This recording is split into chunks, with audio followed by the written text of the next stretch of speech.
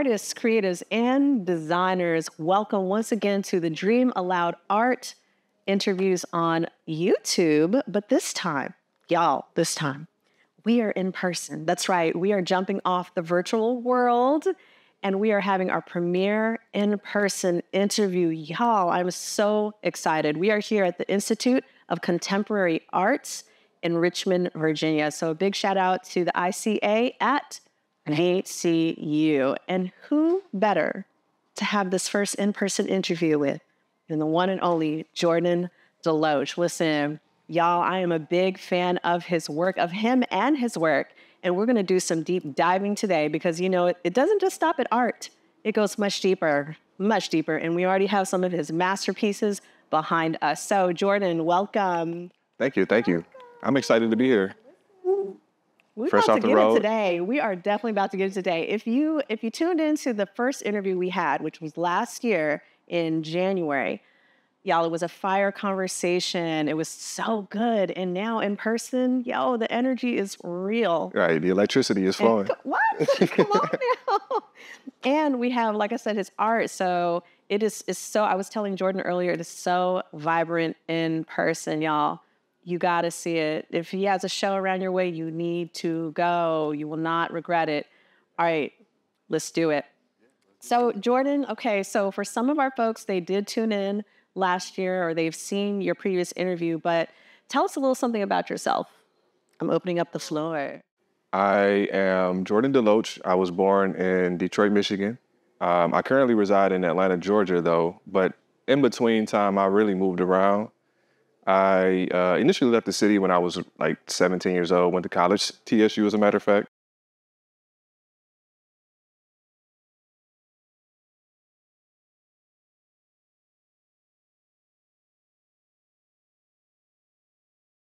I always wanted to do art, but it was just something that I just never really tapped into. Uh, more so because of beliefs, like beliefs in myself, as, as far as whether I could do it, whether I was an artist, you know, whether I matched up or can, could compare to the people that I saw already doing art. So all those judgments, right? Like all that came in, and I just stayed away from it.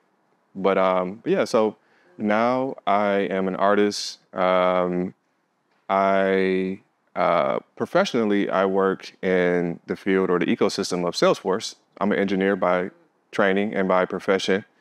Um, but my art and creativity and creative works is, are slowly but surely becoming more and more like a part of my life. So it's almost like a balance now with how much time I spend as uh, within the Salesforce ecosystem, and then how much time I spend like creating art.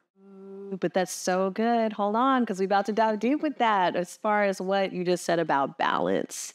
And so I'm going to rewind a little bit because you said, you know, you had certain beliefs about what perhaps an artist should be and maybe some of the uh, like traditional arts as opposed to the new kinds of ways that people express themselves, okay?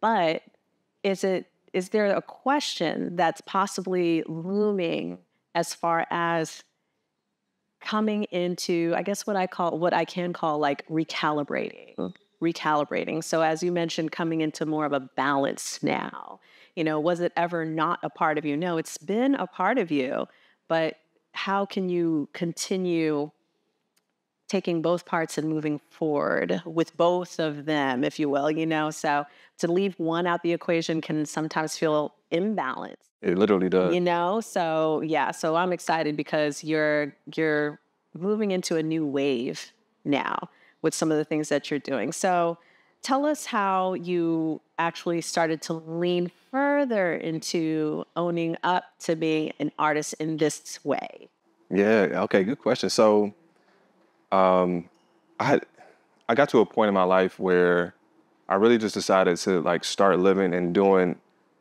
exactly what I wanted to do. Not in like a rebellious type of way, like "Oh, I'm gonna do whatever I want to do, um, but in a very strategic, practical, intentional way. Started to live my life how I wanted to live it and do the things that I really wanted to do.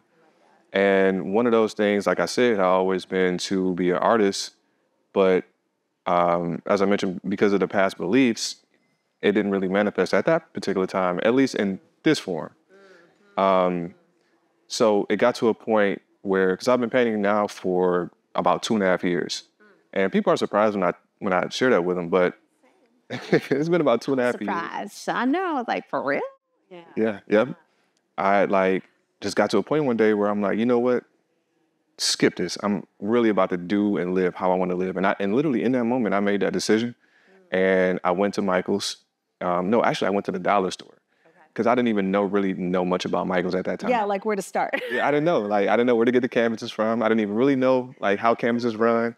Yeah, I know. I Went to the dollar store and got those little cheap little small canvases, got some cheap paint, and I just played in paint. And that was like symbolic and almost like a rite of passage for me because I was moving from that state of limiting belief into just do it.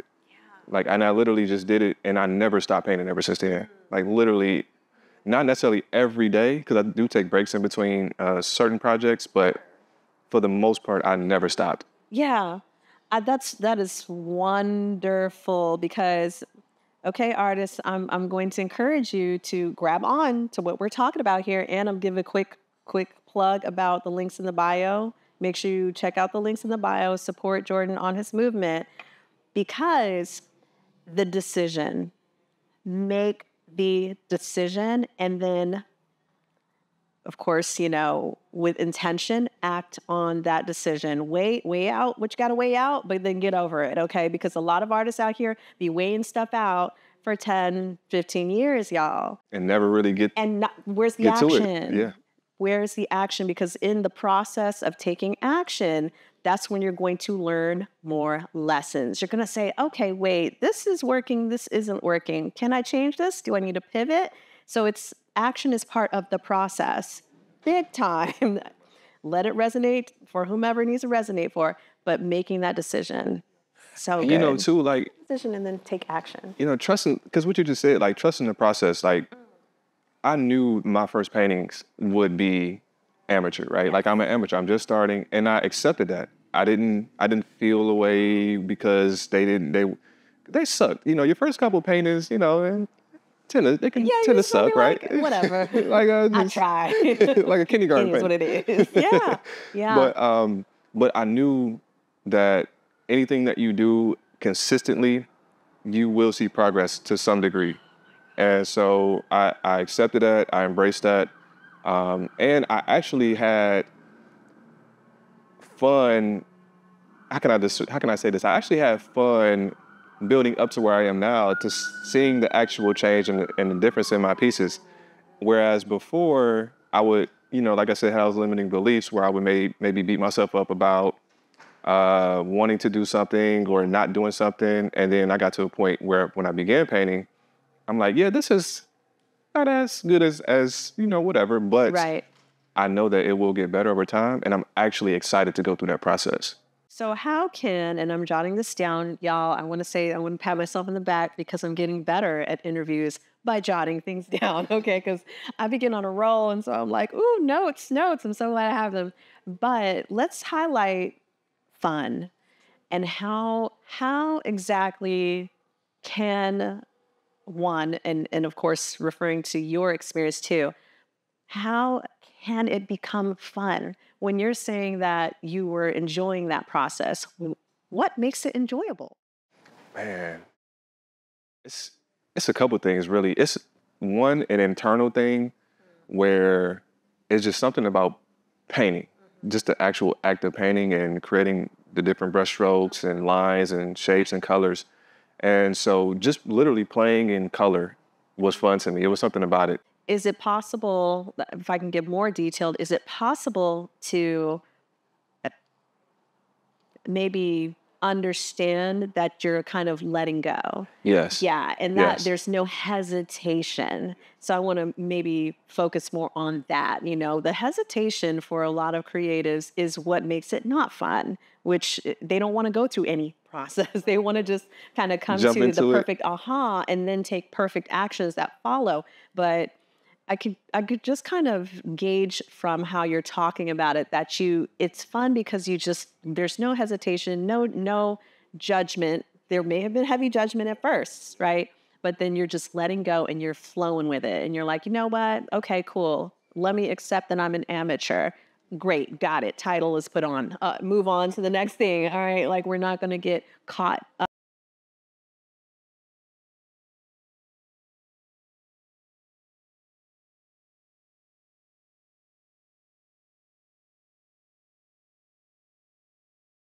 And it allows for freedom of expression in that whatever comes through is what comes through. And so, you know, even like these pieces behind us, um, I didn't intend to paint these. excuse me. Like I didn't intend to paint these specific pieces. Mm. Um, they kind of painted me, mm. right? It, it, it, flowed through me, and y'all, here we go. yeah, it got to a point. Come on, that was good. It it just I don't know at what point in the process of painting it where I realized, oh, this is what it's going to look like. Mm-hmm. But it got to a point where I began to paint, you know, and it starts with like one shape, right? So maybe a triangle here, and then I literally just take it step by step. Mm-hmm. And that's a lesson that I learned too with painting because doing abstract work, I don't necessarily have a, a vision in like at the top of my head about how it's going to look at the end, right? It's more so like I'm going into it and I'm just painting what feels good and then I trust, and this came over time too, but I began to trust that whatever is coming through on canvas, even if it doesn't look like much in the beginning, if I just keep putting a shape here, if I keep just following what feels good and put this here, that hence it'll come out in some type of way that looks like something. Oh, good. This is so good. And I, I have now I'm just spending a lot of time writing, y'all. I'm spending a lot of time writing notes because like that is so good. This is why y'all have got to support Jordan on his movement. Like make sure you follow him on Instagram. Make sure you keep up with what's going on because the philosophy, because this we were segueing into that. The philosophy behind this work is mind blowing. When you're talking about the fact that you didn't exactly have maybe a big picture vision of what they're supposed to look like. See, sometimes we we do have big picture visions and that's good. That's healthy. It's healthy to have an imagination. But sometimes we get so caught up and so in love with what our initial idea was that we try to force things to kind of build into that idea. But when you are present with each step, okay? When you're present and you're aware, then other things will come to you, other forms will, will other shapes and uh, I'm referring to your work here, shapes, colors, and things will take form because it will make more sense. It'll feel more fitting if you're present with each step. Y'all. And so, like everything that you just said, it just equals life. like it, that's what it feels like. It equals the experience of life that we have where we do, we have our visions, we do foresee, you know, like, oh, if I take this action, then this is probably going to be the result, the best thing, right? And if it doesn't look like it, say you start taking those actions and that vision doesn't come immediately, then we're like, okay, yeah, what? you start to feel like you start to second guess yeah. or like instead of realizing it's part of the process.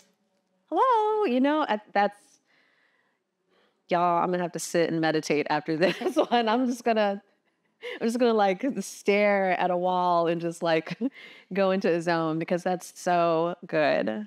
Can you dive a little deeper as far as the philosophy that's behind your work in general? Or, or if there's certain pieces, you know, that you're linking a certain philosophy to.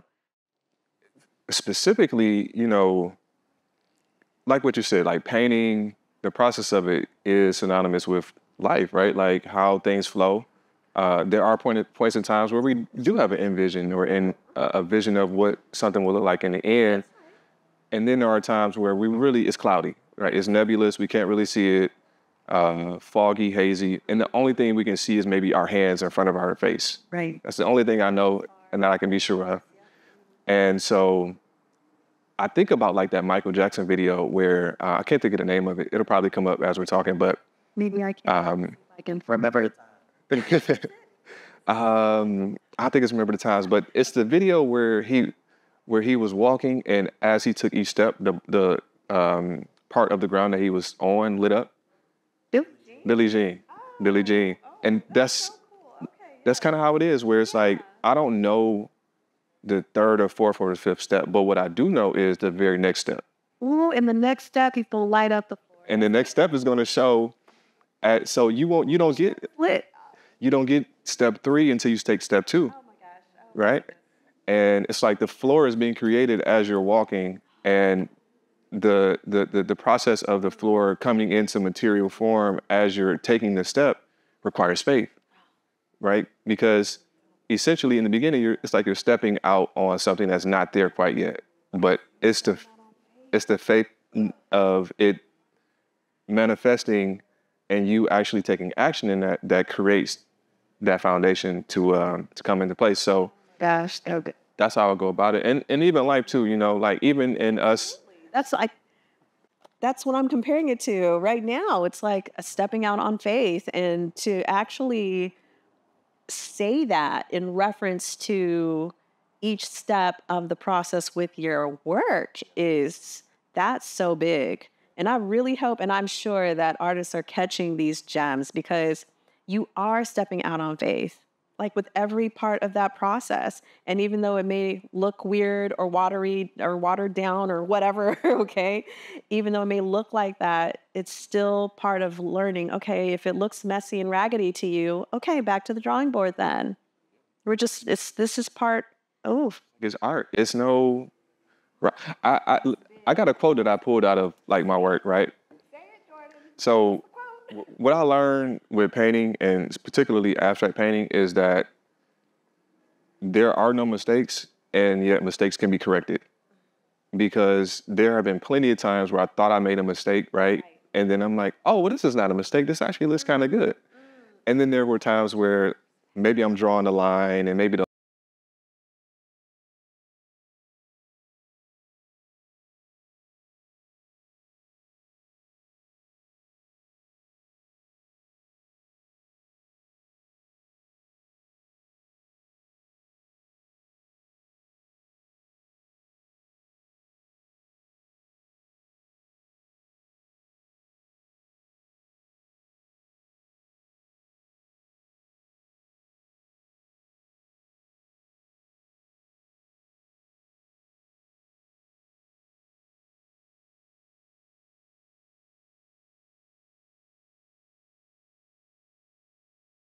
using you know you you legit know that if you don't pay attention to that gps and you take a different path you know that you'll be rerouted right back on track. No hesitation. You're just like oh snap oh, up miss the exit but guess what?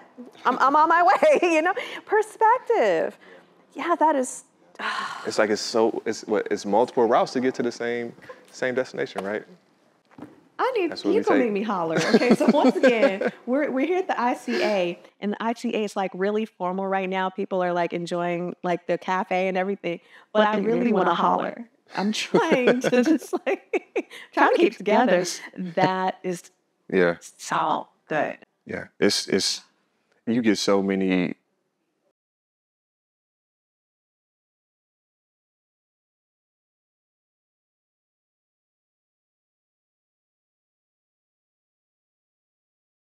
process because something I've said before on uh, Dream Aloud Art, uh, which is my IG, but something I've said to artists over the years is like you may be frustrated with the art you're doing because that's not the medium you need to be working with. You're trying to make like like I'll use myself as the example because I've I've experienced this. I am more of a watercolor person. Now, I like a whole lot of, you know, forms of expression, a lot of different mediums, but watercolor ink specifically, watercolor ink feels so much better than like say a different form of watercolor. But I, I had to go on my own path in order to find that out. You know, if I'm try- if I'm using acrylic and it's like, why does this feel chalky, blocky, and I am not interested? Because I probably need to do something else. Yeah, so I love that. So let's go back to your work here. Now we're talking about, we're touching on, you know, your philosophy, different lessons of life. When you're looking at, we'll just use this one here. First of all, tell us the title to this one if you have a title for it. Ah, oh, yeah, yeah. So this one is called refraction. Refraction. So if we're looking at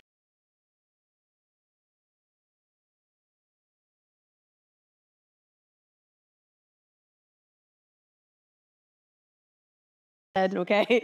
That's what he said. If this pa- piece was painting you, what what exactly did you get from that experience? Wow, that's a good question. So Gotta ask good questions, y'all. I'm you trying know, to it pat myself on the back. I'm just saying. it kind of yeah. I kind of went through that process that I mentioned before, where I didn't try to paint that initially, right? You know, um, and as a matter of fact, I had I wouldn't say another vision in mind in terms of an end goal, but I had something that I another path that I thought I was going down. I got re, re uh, redirected, right?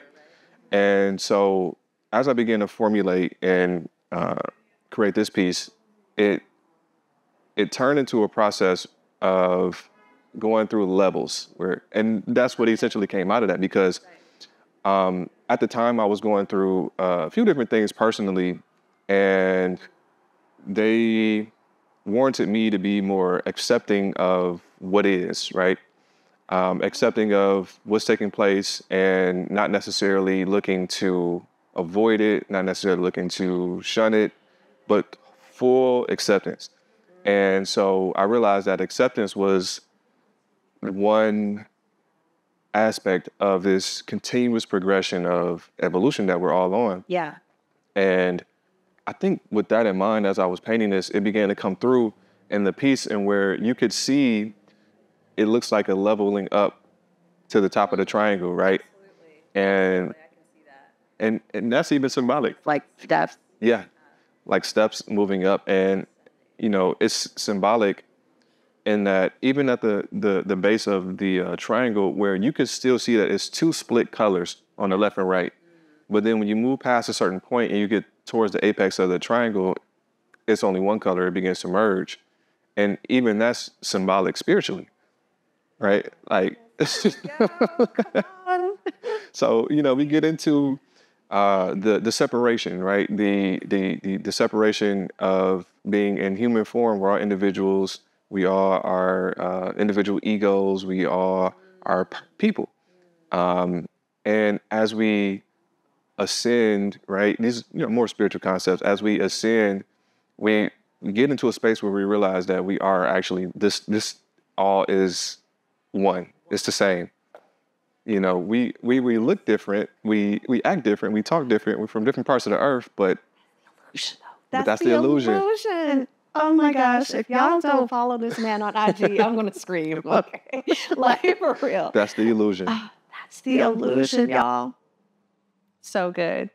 and and i even will add this too um The- the the black and white you know entering the pyramid is symbolic of kind of like black and white thinking right still still being in that illusion Mm. still seeing things as in duality like this or that That's what I was That's trying the to think. I was word. like, what is the, word? Yeah, duality. this or that right up or down north or south uh, uh Opposite. opposites Things like that. Yeah. And- Mm, mm. when you know the lines enter into the pyramid, they also exit outright in a, a variety of colors, So, yes. and so true. um, and even the angle to which they go in and exit out That's is intentional. Okay. Right. I try to get it to a sixty degree angle Mm. uh, because in uh, astronomy and in astrology, a sextile is a sixty degree angle between two different planets. So when they're sixty degrees away in measurement, um, that's considered a harmonious aspect in astronomy. So things flow smooth, things uh, they gel together well. Uh, uh, they essentially, like I said, are in harmony, and that's the energy I wanted to like capture with the way in which the, the array of colors came out of the pyramid. So you go in black and white, right? The black and white understanding, but then you go, it goes into the pyramid, or it goes into this transformative process where when it comes out of the pyramid is now nuanced. It now has enlightenment. It now has color, variety of colors. It now has uh, uh, the understanding that there's more than just black and white. Yeah, than duality. absolutely. You know what Oh, I mean? that's so good. But you know what? There's a lot of, and I don't have all the verbiage down because I just don't, but I I have an understanding as far as a connection between, how can I say, like mathematics and spirituality, Yeah. Numbers, symbols, geometry. geometries, um, sacred geometry.